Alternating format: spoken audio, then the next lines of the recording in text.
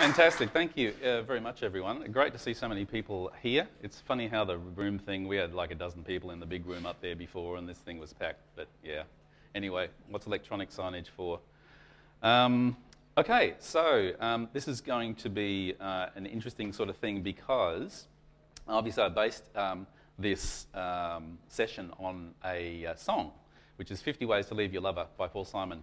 And I only realised the other day when I was typing in the year into iTunes and stuff that it's actually 1975 song and everything. So, who's Paul Simon? uh, hands up, who's heard of Paul Simon? Oh, there we go. Fantastic. Okay, that's good. Um, okay, so we'll, we'll, we'll get to the song. I was playing through the video before just so it's refreshed in your memory. Um, I'm Managing Director of Glow Digital. Uh, there's my contact info. Um, this is our um, new branding, our new website that went up last night and everything. We've got a guy talking about responsive design, so we figured, gee, we better have a responsive site by the time DrupalCon comes around, so check it out sometime. Uh, we're also sponsoring coffee, haha, and you must, is my little, my little uh, spiel, uh, you must enter our competition to win an iPad mini as well.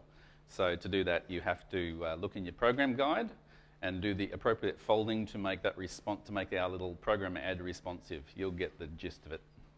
Um, and there's a QR code on the cups that you have to take a picky of to enter. Okay, I like music, tennis, and photography, and that is a rock in my backyard. There you go. Why not? Um, okay, so 10 ways to cost Drupal projects. Now, there are uh, a million ways to cost them, and really it's not so much about the costing, it's about the situations that you encounter uh, that you have to interpret and then work out, well, how the heck am I going to approach this? So really, it's kind of more like 10 situations um, that you need to come up with the costing in with various different conditions. So that's really um, what my 10 lines of the song cover. So we'll get to the song in a minute. Um, the 10 ways uh, are listed thus. Uh, and I'm going to go into these in some uh, detail. You can just read that for yourself. Um, I've got a fair bit of material to go through. I'm not quite sure how long it'll take, so I might speed up or slow down. And um, any questions probably we'll wait to the end, and we'll leave, try to leave a fair bit of time at the end for some, some questions and discussion. And I'm interested in, in input from you as well, because I'm sure uh, okay, we have to do the mandatory hands up thing. Okay, so hands up who runs uh, a Drupal agency and develops websites for people. Great, thank you very much. There's quite a few. hands up who develops websites internally for their own company. Excellent, fantastic. So it's about sort of a almost a 50-50 there, which is fantastic. Um, um, okay, so the 10 ways. What's not covered? Lots and stuff. So um, yeah, by all means, um, we'll have a bit of a discussion later. Um, okay, here he is in the 70s. Scary stuff. Um, complete with the appropriate um, uh, Mo. Uh, this is a more recent shot of uh, Paul Simon. And I was playing the music before, but look, I'll play a little bit now and I have to rewind here. Always dangerous playing video from within PowerPoint, isn't it?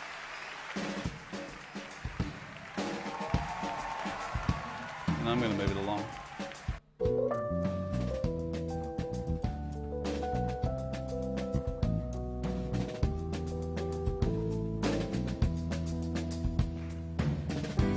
Problem is all inside your head, she said to me. The answer is easy if you take it logically.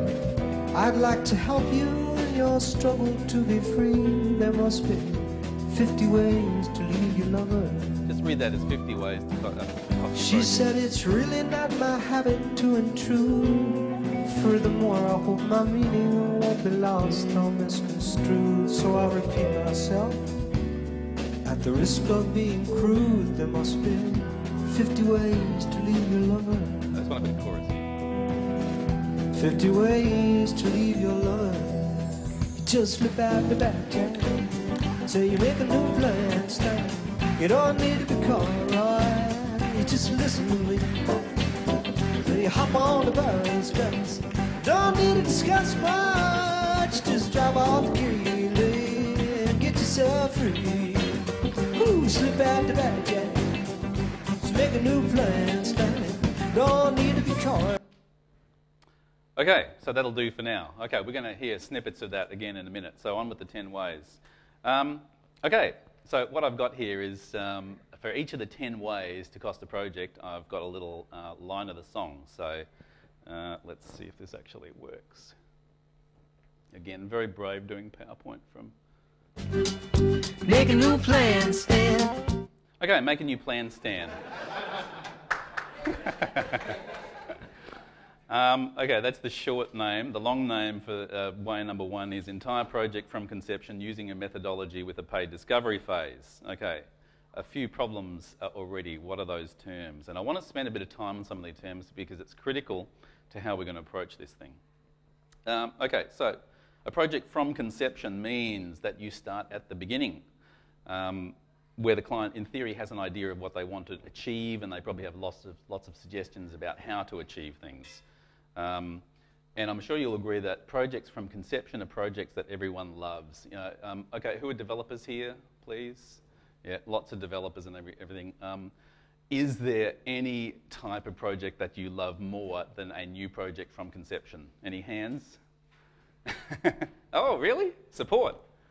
Oh, fantastic. Yeah, there you go. Very important support. Uh, but most people like new stuff, green fields.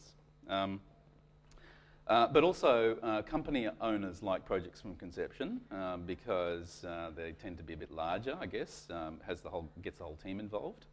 Um, uh, and project managers like them because, again, they get to work with Greenfield. Uh, developers love them because, yeah, the world's their oyster. Um, and really, everyone likes the idea of conception, I think. Um, okay, but uh, few projects really are from conception, really. Um, uh, it's very rare that you'll find a, client comes to you and says, um, I've got this wad of money I want to give to you. Can you please create a plan for me with using your best practice and just make it happen? Um, well, at least in my experience, that's kind of rare. Usually they come up with, uh, you know, you yeah, okay, we'll get to that. Um, so in reality, really, um, they come to you with, with a list of things that they need. They come to you with solutions uh, for their problems and everything. So they say, right, I need a blog, um, I need a, an event management system or something like that. And you really have to say, whoa there, Bessie, um, stop, and we'll find out actually what your business problems are in order to be able to solve those. So you've really got to find out, um, you've really got to get past what they think the project is about uh, and, and really reassess that yourself. Um, they might come to you with some design ideas. Uh, okay, one, one, more show of hands here, and I promise not to, to try not to do any more after this. Who has had a client who has strong opinions about the design? Okay, everyone. that's got to be. That's very impressive. Um, and often, uh, designers will tell you, user experience will uh, experts will tell you that uh, really they have to go back to the start as well and ask the client, well, really, what are your goals? What are we trying to achieve? Um, so really, oh, and the functionality needed as well. The client, you know, has a list of things that they want you to implement, of course, and they, and they really need to unlearn all of those things. Um, using methodology. Uh, so methodology is a guideline system for solving a problem with specific components such as phases, tasks, methods, techniques, and tools. Um, the reason I'm going to this level on a methodology is because it's really, really critical that you understand that you have a methodology and that you understand it uh, well enough to be able to quote your projects well because the quote depends very much on your methodology in the case of Greenfields projects. Um, typical steps in a methodology, sort of these days, it's hard to find information on methodologies uh, because people think that they're secrets and um, don't want to give it to the competition and what have you. So, really, if you look it up on the web, it's kind of hard to find. But these are some typical steps. Um, discovery phase, content strategy stuff, um, design, construction, launch, post launch. So, those things are about design is typically sort of you know your project brief, um, work out your goals. You might have some uh, stakeholder interviews, do some user research, user types, goals, personas, scenarios potentially. Um, and reviews as well. So review the existing site, review the uh, marketing strategy, review the branding, review the competition.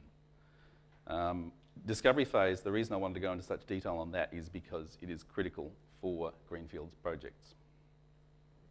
Uh, your content strategy, um, typically that'll be you know, your information architecture, uh, i.e. sitemap and other stuff. Uh, wireframe diagrams, um, maybe responsive layouts, um, breakpoints, etc. Implementation strategy, which is how you put things together in Drupal. Um, design will typically be user experience stuff, uh, maybe Photoshop layouts if you still use that. Um, style tiles, really interesting concept. Um, I don't know if um, anyone here from phase two?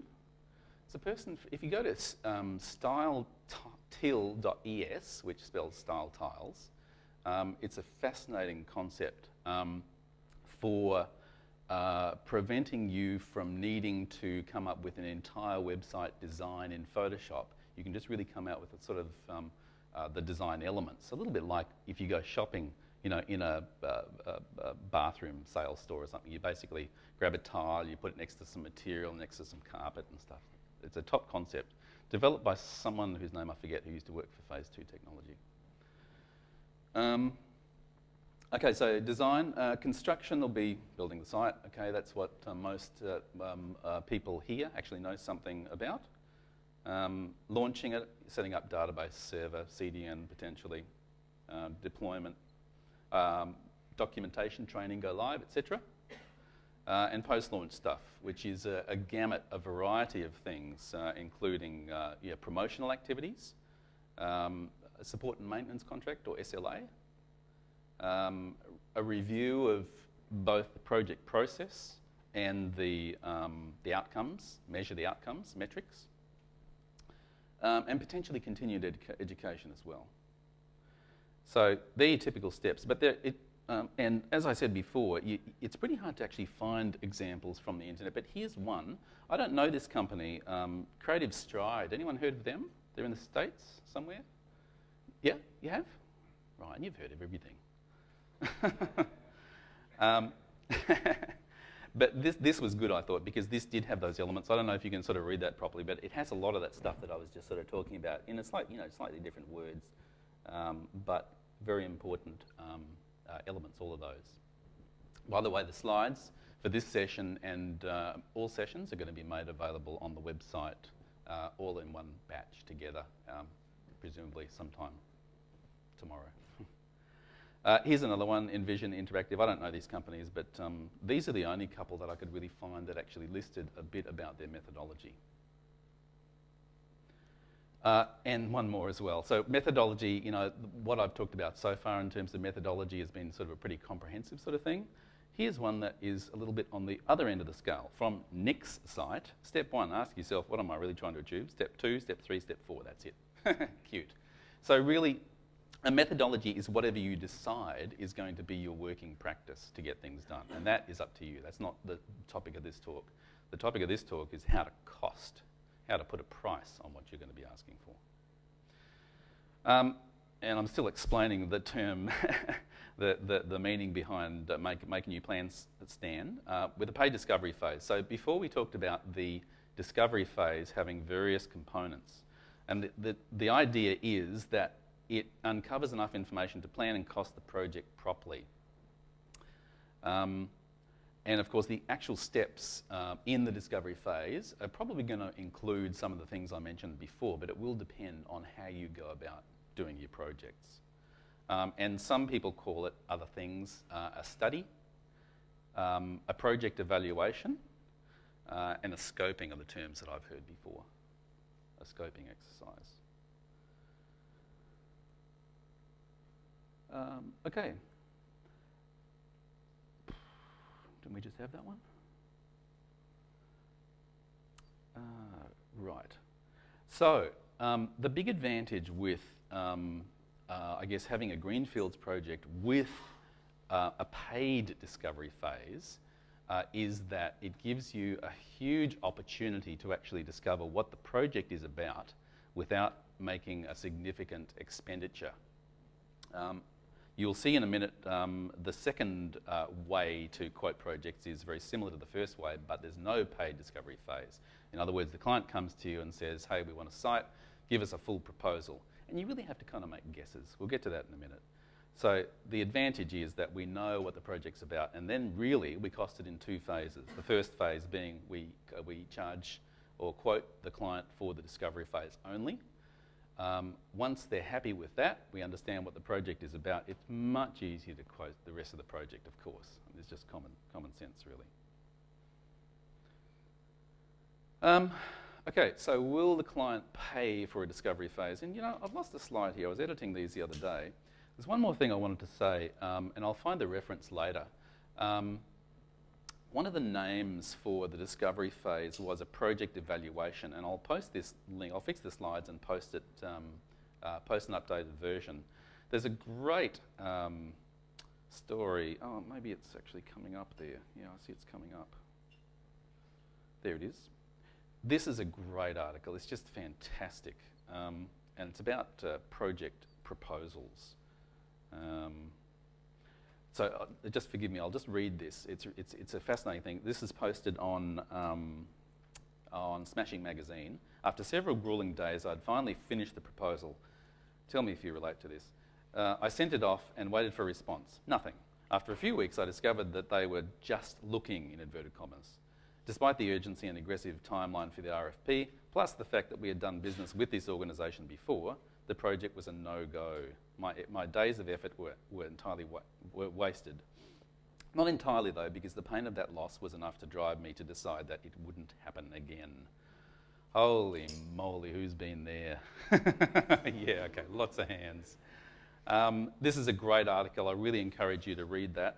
Um, and uh, there it is, actually. Stop writing project proposals and my subtitle is Start Writing Evaluation. So they call that discovery phase uh, a project evaluation and they charge the client for it.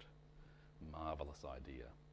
Um, will they pay for it? That's the question. Uh, my comments are if they're serious about the project, they'll pay for it. If they really want, you know, someone who, uh, if they want a half-baked solution, they should simply ask for, you know, an entire project from conception. Um, Vesa Palmu uh, was here just before, uh, popped his head in and stuff. He was talking about um, agile processes, uh, and that was really, really interesting. He was saying uh, that um, agile processes are really great, especially for large projects.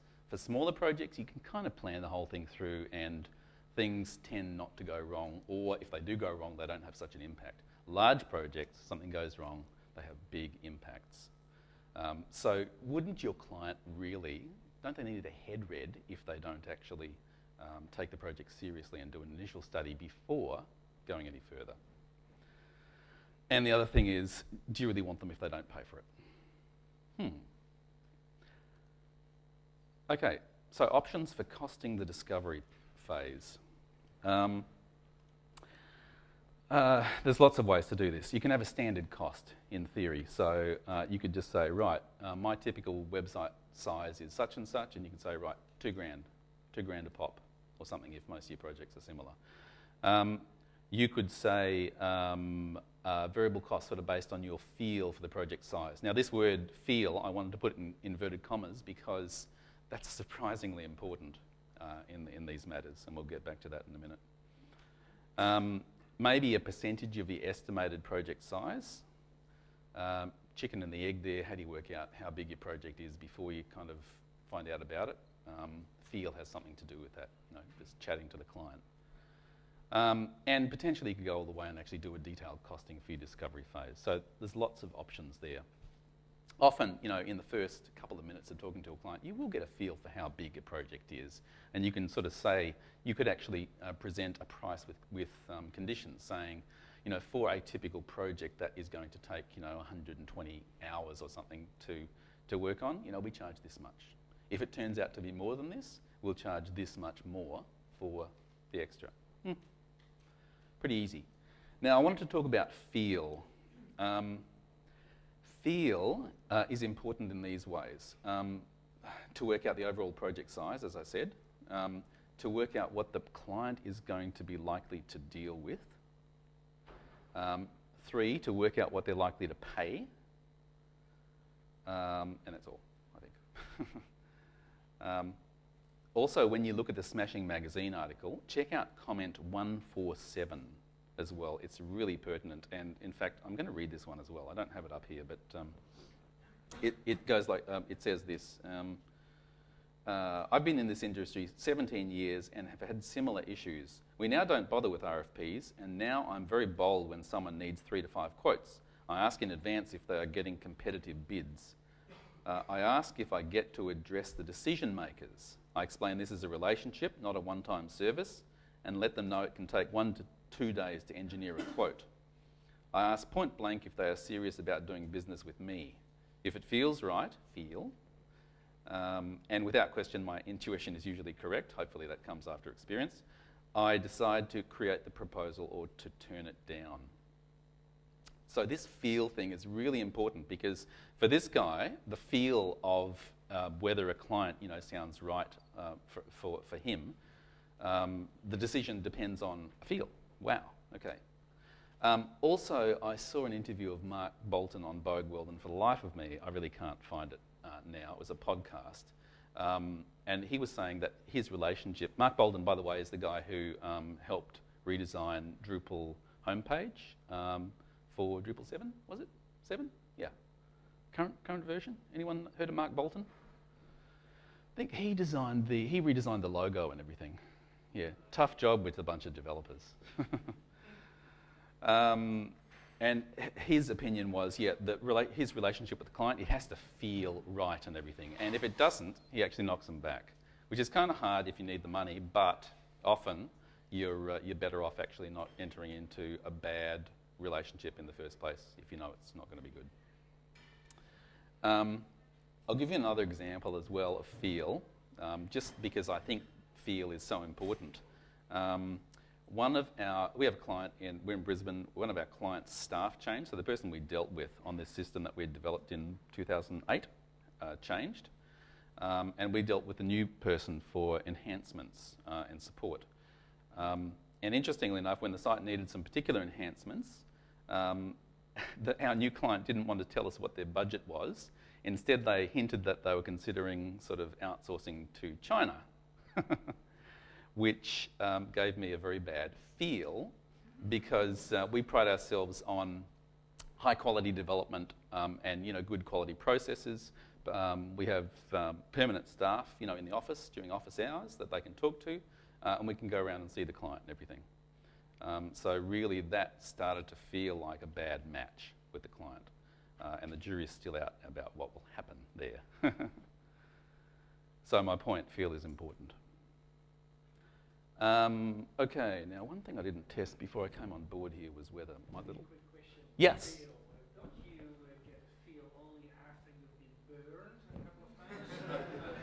yeah, well, I think that goes to experience, to be honest. Um, it's absolutely, you know, and, and the, the, feel that you get really once once you get burned, yeah, you really you really get a, a, a feel for that situation again, and you don't make the same mistake twice. Um, Okay. So, yeah, thanks. Thanks for the question. And yeah, feel, feel free to chime in, I reckon. That'll make it more interactive.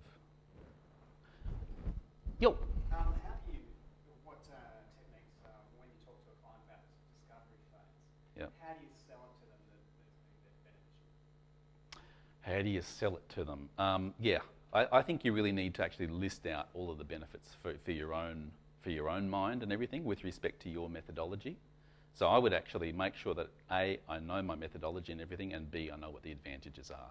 You know, and you can also um, uh, come to a couple of sessions tomorrow. Um, there's a session by um, uh, Philippe Rabim and another one by David Kalkali about dealing with government and dealing with corporate clients and stuff that actually talks a little bit about that. So I would actually, yeah, work that out um, and make sure you've got a cheat sheet so when you talk to them you can actually do it. I know that's not really answering your question, but it really does depend on, on how it works.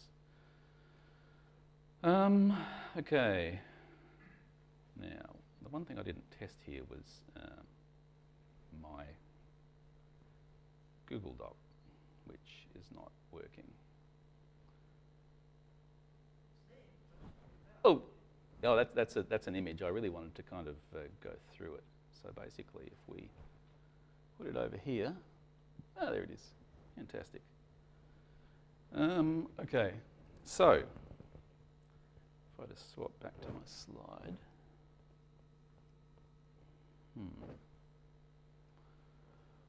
Uh, right. Now, you can follow along if you wish. If you've got a laptop there, you can actually go in and have a look at this, or you can do it later. It's a Google spreadsheet, so it's multi-user access. Um, and I've made this uh, publicly uh, accessible.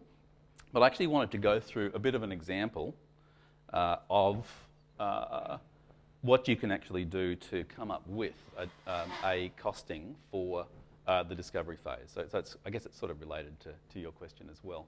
Um, first of all, up the top, Oh, yeah, and if you could, um, when you go into it, you'll get a little purple or different colour and everything. So if you cannot move around too much, it won't distract from where I'm pointing. um, okay, so you got your rate card there. You got your different um, your different uh, people, and you feel free to actually copy this as well from, from where it is. You've got your different uh, roles. You may not have as many, or, or you may have more roles. You can change the rates, etc. Um, you have to decide on a contingency figure there um, and a project management overhead. Um, and then you work out basically what your steps in your methodology in your discovery phase are. So you might have a project brief, you know, which uses a project manager resource at 100 bucks an hour. They'll take two hours. Yeah, good luck. um, with a cost of $200. So the same thing uh, for the other roles, you know, for these different steps. Uh, fill in your own methodology. Um, you need to add some sort of contingency off it, obviously. So, you know, I've chosen 10% there as a round number, but you could be 50% on a small thing like this, maybe.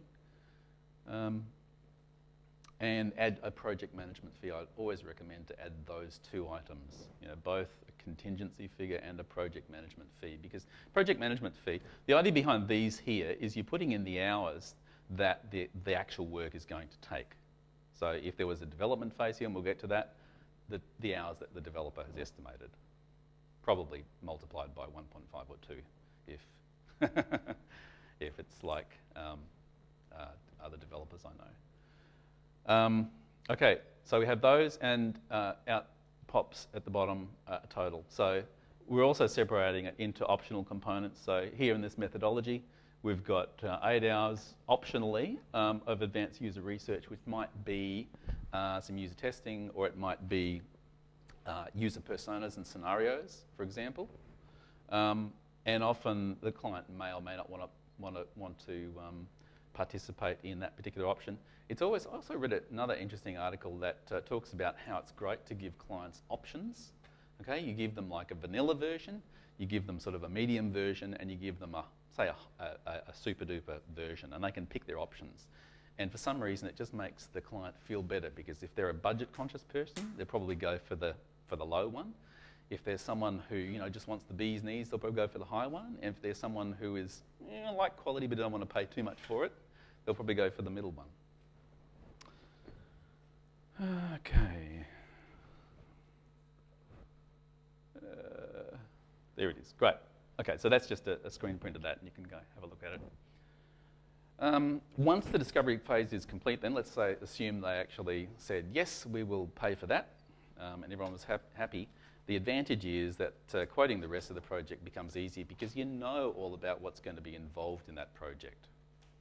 Um, and you've got the history with the client, so they have an immediate trust in you. And to be honest, you have the inside running on the competition should they actually decide that they want to go out to tender or RFP. They'll invite you for sure if you did a good job. uh, and they'll invite maybe one or two other organisations, but you've got the inside running because you know them and they have their trust in you. So, um, okay. What if your methodology, I said your methodology could be anything. What if it's agile? Um, and um, uh, was there any, did anyone attend uh, Vesa Palmu's um, talk before? Yeah, great. Um, it was interesting that um, I was speaking to him afterwards as well. And I said, you know, how, how sorted do you really have the, the costing of the agile process? And he said about 50%.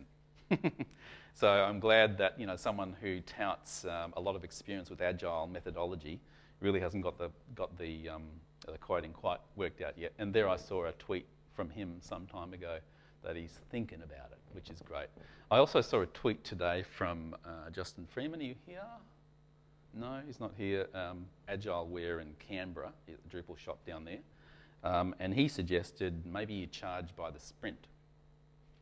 Okay, so if you have a week sprint or something with you know three developers or something like that, uh, potentially charged by the sprint. Um, it sounds like a pretty good idea. We haven't done that before, but I'd be interested in hearing anyone who has worked that out.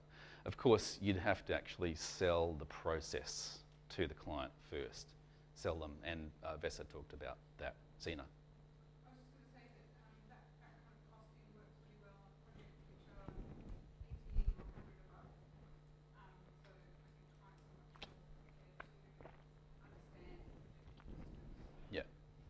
So for the audio um, recording, um, you come up here and talk into my neck.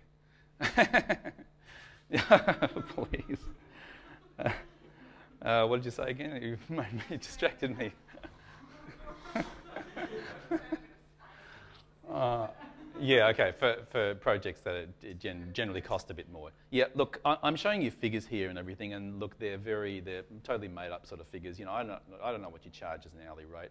In Sydney, it's bound to be more, higher cost of living. Um, it'll depend on how big an agency you are as well. Yeah, so sub your own figures in. Um, okay, um, and um, yeah, I, I, like the idea of charging by the sprint. It sounds very consistent with, with that. Okay, so um, just as a, a um, as a bit of a summary then, I don't know what that slide's doing there. As a summary, I reckon this number one, make a new plan, Stan, um, is a pretty good option.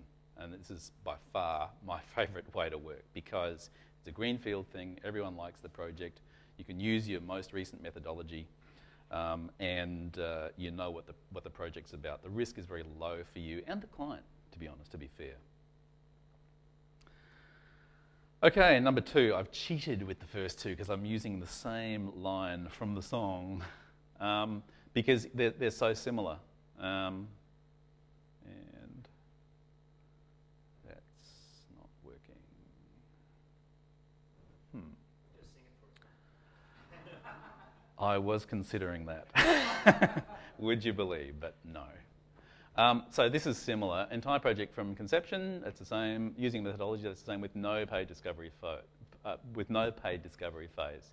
So in other words, they want an upfront quote. I should clarify here as well. These first two, I'm actually talking really about uh, a process where the client sort of comes to you with some sort of brief, or maybe an RFQ, a request for quotation, or maybe an RFP, a request for proposal. So they're that sort of things. I'm going to talk about tenders um, in a minute. Okay, so without a paid discovery phase, what time do we start, by the way? Do we start at quarter two? Holy moly, better get going. Um, okay, we have much less information, or as we know, errant information because we haven't had the, the opportunity to, to, to talk to the client about what the project is about. Um, there's no guarantee of getting paid for, for the work, so basically you need to factor that into your charges. You have to make a bunch of assumptions. Um, because you're making guesstimates, you probably have to increase that 10% contingency figure, which, which, will increase the bottom line cost for the client. And the client, oh gee, uh, everyone's had this. You know, if they come to you with a wimpy request for a website and everything, uh, and if they go to 10 agencies, they'll get, you know, 12 answers uh, about, and how are they going to compare those proposals? Uh, because they'll be for totally different systems because they haven't specified it. Um, Okay, so you'll have to decide whether you want to be part of that, really. Um, and the risk is that you'll spend significant time and you won't get paid for that time. Um, the self fulfilling prophecy part is okay, if I'm not going to get paid for the time, I'm not going to put the time in, therefore I won't win the bid. so it's, it's a tricky thing. Um, some projects are probably worth it. And my recommendation would simply to be um, follow your gut feel, not your heart. Now, the reason I say that uh, very briefly is because oh, there's a project just at the end of last year that I followed my heart. It was a great cause and everything. It didn't quite stack up in the start, but you know, I was talking to the CEO. I wasn't talking to the actual board, which were the stakeholders. But it was such a great cause. I thought, oh, I'll just you know put in for this, and I'll show them. I won't respond uh, to what they ask for. I'll tell them what they really need. Bad move. Yeah, anyway. Um, okay, so an example of a costing without a discovery phase. Uh, we'll move to the next uh, sheet. Uh, where is it? There. Okay, the entire project, it's a very similar sort of spreadsheet uh, to the last one. We've still we've got a discovery phase, but we've got to include a whole bunch of other things now. So we'll include all our methodology, and we've got to make some sort of guesses there. Notice how, how broad this is here when I, when I um, work out, well, how much are we going to sort of spend on actually building the site? Um, you've got to kind of have broad guesses here. Uh, and, but down the bottom, you still come out with some totals. Okay, so that's one way to actually do it. Yeah, feel free to look at that later.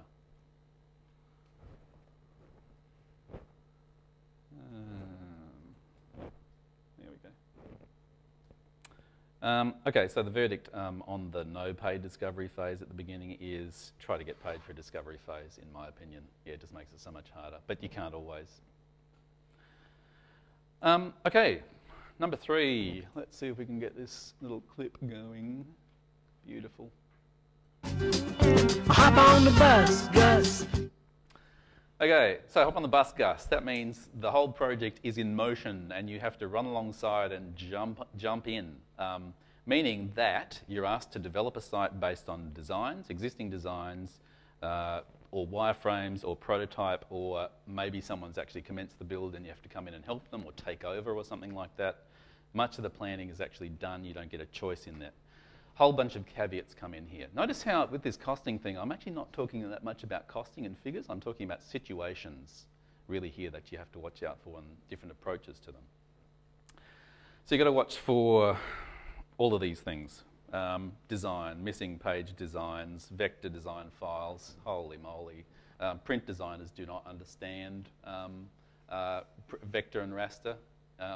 It doesn't matter how you drum it into them, so you just say, right, we want Photoshop files, we won't negotiate on InDesign.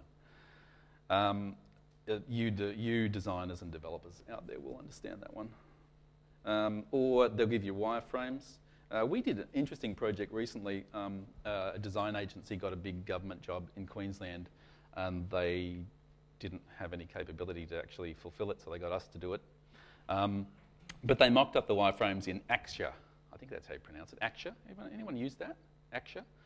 Um, it's a pretty expensive um, a tool, but it's actually pretty jolly good. And it gives you interactive wireframes that actually work. You can do links in it and menus and all sorts of stuff. It's pretty interesting. Um, but therein lied a bit of a caveat, lay a bit of a caveat because um, uh, with, a, with a working prototype like that that they control, that's actually the specification. How do you lock that down? Um, so what I did was actually got them to uh, produce a PDF from it, which did not have the interactivity and a few little, we, we ended up with a few little gotchas, functionality we didn't realize was there. Um, so, and all this really goes to um, being able to define um, what, you, what you're agreeing to fairly carefully. Um, in terms of mess, look, there's all sorts of things that can happen on a project that's started already, and you have to make this assessment before you go into it, I think. Um, things like they haven't scoped the project well enough, so what is being built and what you're asked to build is actually not what the client wants and will make them happy. So therefore, it's going to be a lose situation. you probably don't want to be involved in that, or you try to be proactive and actually redirect the project, get it back on track. Um, and that particularly happens if the, if the um, goals of the project have not been defined. Um, the, you, the relationship with the client is, is often messy, um, and of course the old, um, the old beauty, insufficient budget. If they don't really have the money and they want you to bring you on board, uh, do you really want to be part of it if they don't have enough money to pay to do it properly? Hmm. Um, okay, so what do you do? Um, you have to decide. Um, you could do a detailed costing. Um, you could, uh, I suggest always uh, lock down the scope. That's probably the most important thing work out who's responsible for what, particularly when there's multiple organisations involved, and define the conditions in a contract. Very important. Um, I'm going to skip through this. The most important thing that's in the contract has got to be really the specification. Uh, if you don't have that uh, careful enough, um, you're just asking for trouble and you're taking on a significant liability and a risk. Uh, in terms of, uh, you know, if there's just a rough sort of wireframe or something of some functionality that can be interpreted different ways, the client will interpret it to their advantage and potentially you would interpret it to your advantage. So it's in everyone's interest to actually have it well defined. Um, move on. Um, have a look at some model contracts. There's a few examples of some model contracts on the web there. Yeah, Ryan.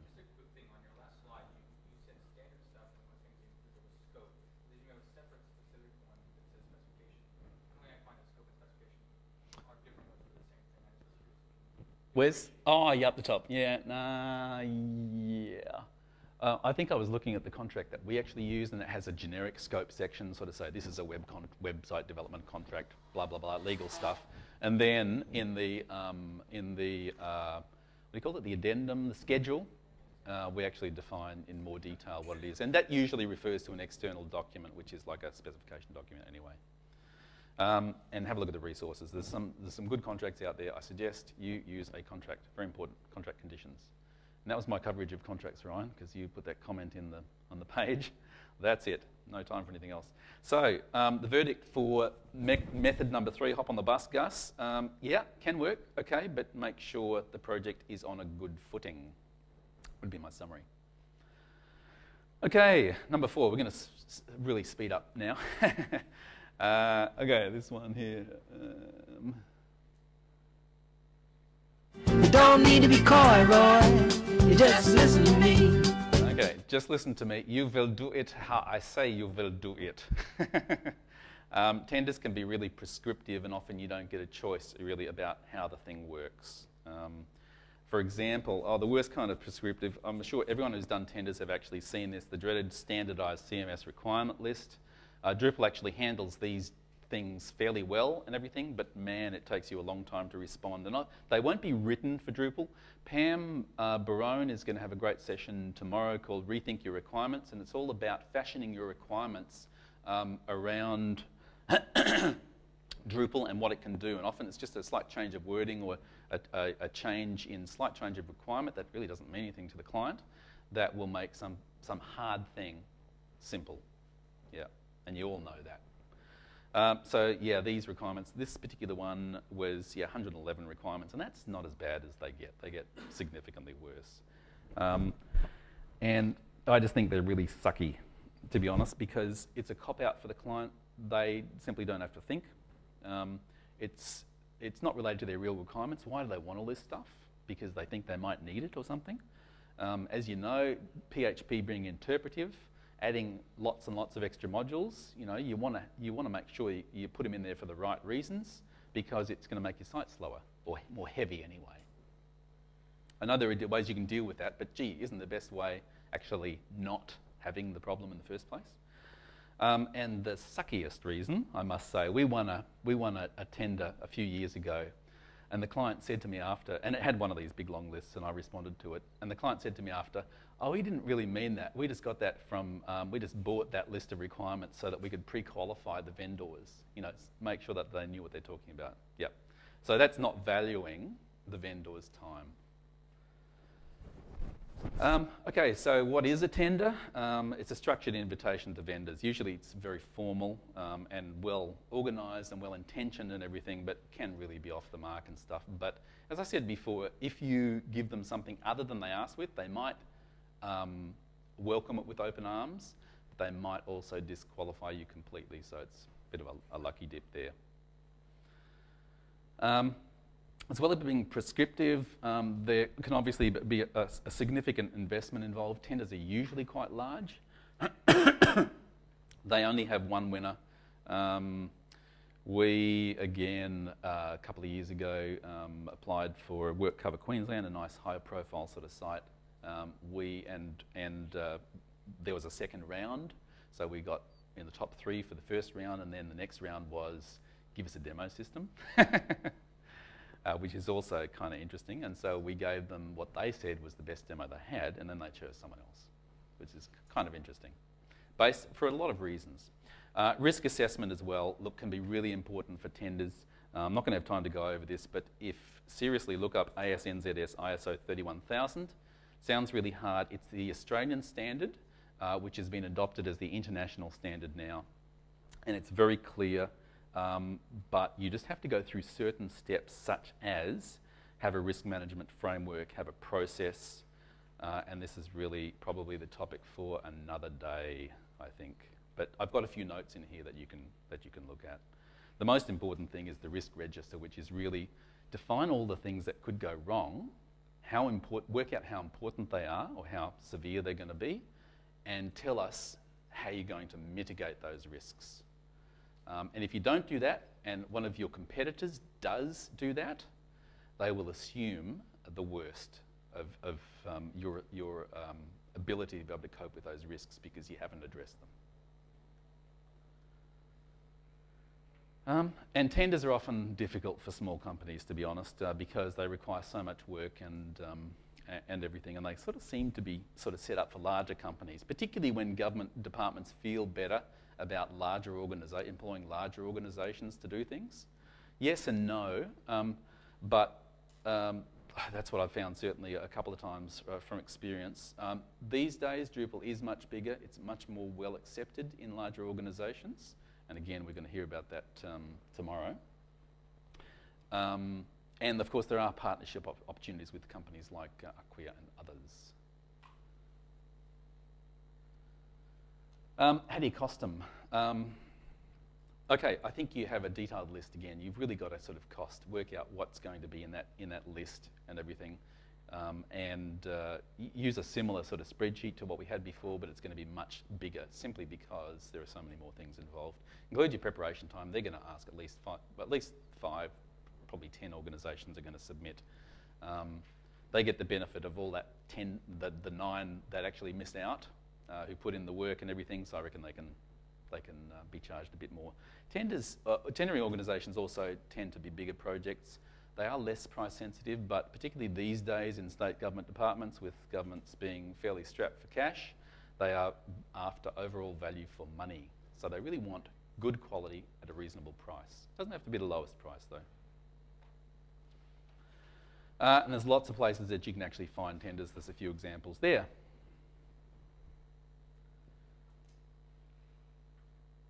Um, okay. And that's uh, my verdict on tenders then, uh, is they can be very worthwhile, but think carefully before committing, committing to the substantial work involved, I would say. Um, okay, uh, the ballpark estimate. We did start at quarter to four, didn't we? Okay, is that right? Yeah.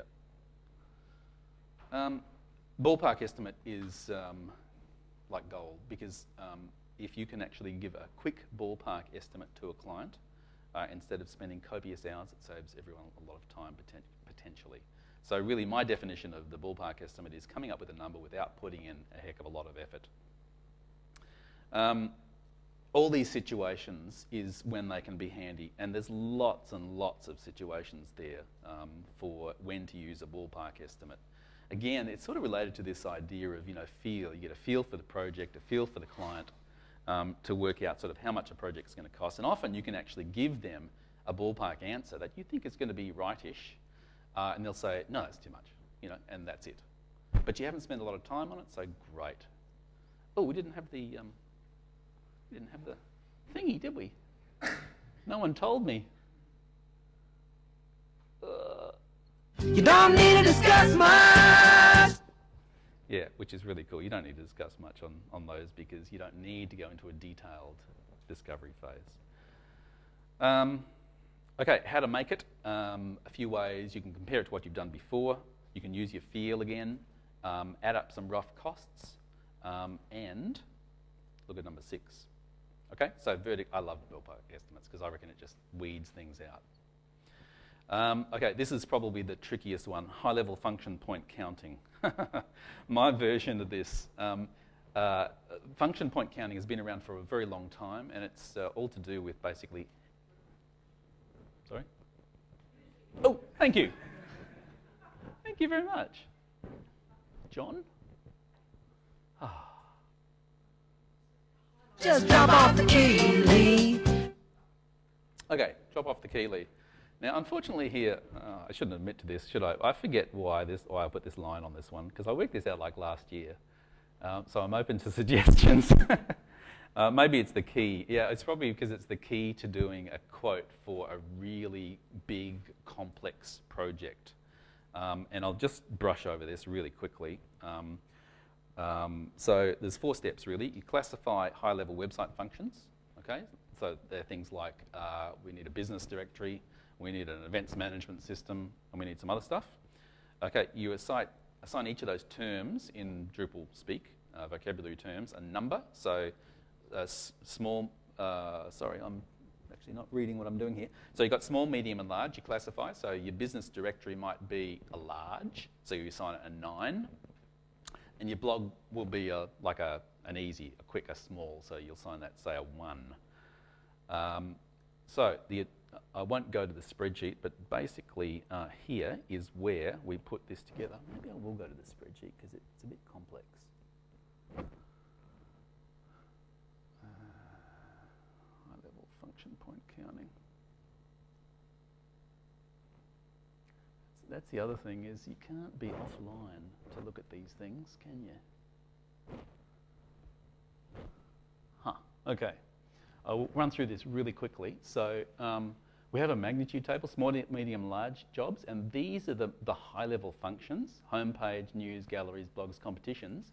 You classify them with a magnitude, how big is that approximately? Um, from this table here, we work out the number of units of work, uh, and we add them up at the bottom. So total number of units of work are 49. Sorry, I'm going through this really quickly. Uh, so therefore, that translates uh, at, um, what was it, four, three or four hours per unit of work to 147 hours. You add on your uh, project management cost, and I forgot contingency. Oh, there it is, fantastic. And hey, presto, at the bottom, you get a number.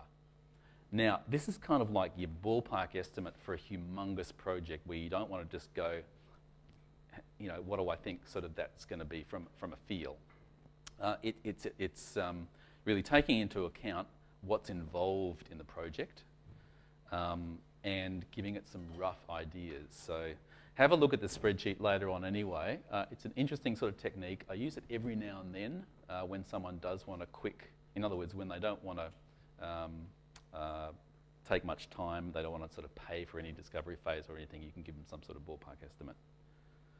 Any questions on that one? Sorry, yeah, I'll ask you. Yep.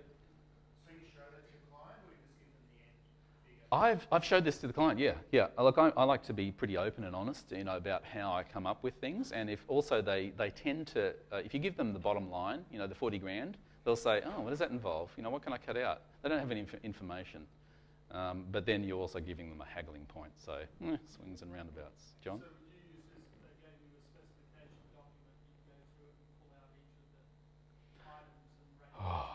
I think you'd have to compress a lot of things into a big, a big heading, really.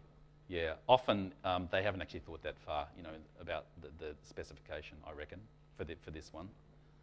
A little bit on this topic. So yep. Do you even give them the contingency project management uh, figures? Do you try to hide it? No, I don't try to hide it. No, I tell them what my contingency is. Um, as long as they don't say um, when you're actually in the project and you use up some of the contingency, they said, uh, oh, there's a bit of contingency left. Can we use that for something else, please? you make it clear right up front. This contingency is goes into our calculations. What we're charging you is a fixed price bottom line. That's what's in the contract. Yeah, you've got to be clear. One of my tips before was make sure they understand your contract. Yeah. Okay, moving right along because we have to have some questions and finish. No, I'm in trouble. Hmm. Ah, we are back. Okay, great. Um, okay. Yeah. Yep.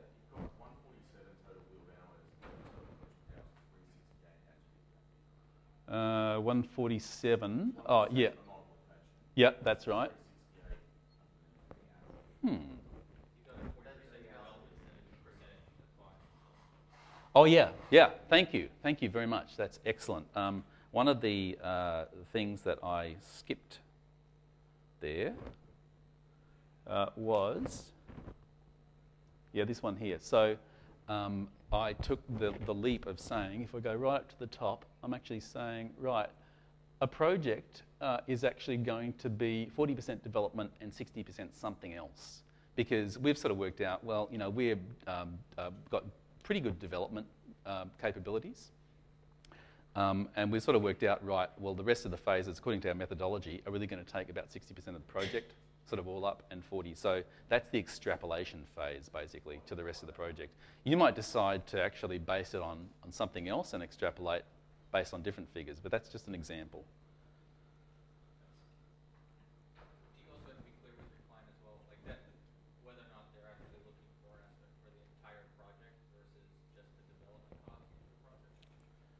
I've lost my place here, Ryan, um, with my PowerPoint. Can you repeat that question? I'm sorry.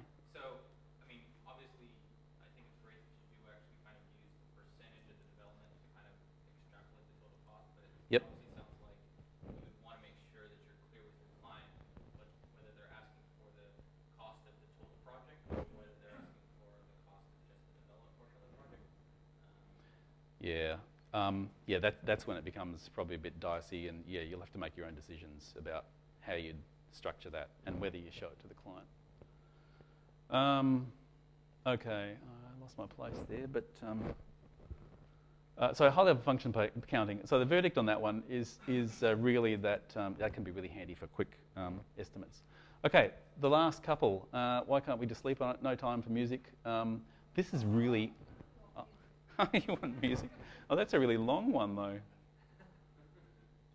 He said, why don't we both just That's sleep on it tonight? Okay, so I believe sing over it, maybe. Uh, low budget but high expectations, be creative. Oh, gee, no one's ever heard that before.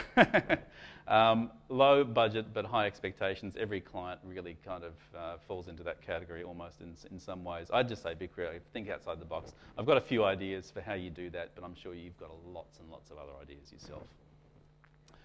Um, okay, an existing Drupal system. Um, sometimes we, uh, clients actually come to us.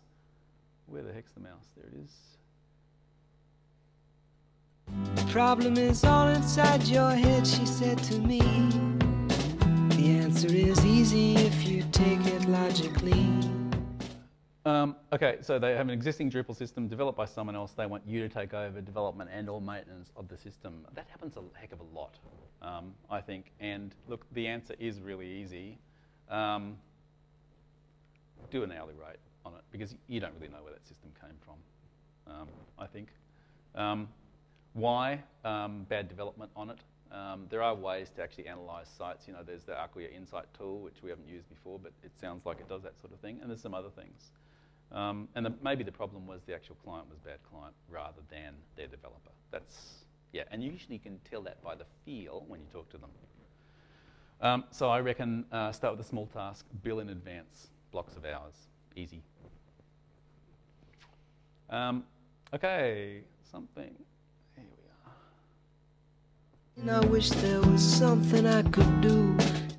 Here's a funny one. Quote high if you don't want the job or the client and you can't tell them directly. Um, you know, and there's lots of reasons why you can't tell them directly. That maybe they're difficult to deal with, and you can never tell a client that really because they they just won't see that. Um, so quote high. You don't want the work. Um, you don't agree with the project's morals. Uh, gee, I just got to tell you, I, I hadn't actually worked out. Um, I got a call, call early on after started, starting Glow Digital from a brothel. They wanted me to do a brothel website with explicit content. And I said, uh, uh, I'll get back to you. Uh, but then I quickly worked out a policy um, to deal with that. And since I've said that, I have to deal with what the policy was, which was if I don't feel comfortable showing my kids, I'm not going to take it on. Yeah, and I've used that a few times. It's great. Um, and maybe you don't want to tell them. Yeah.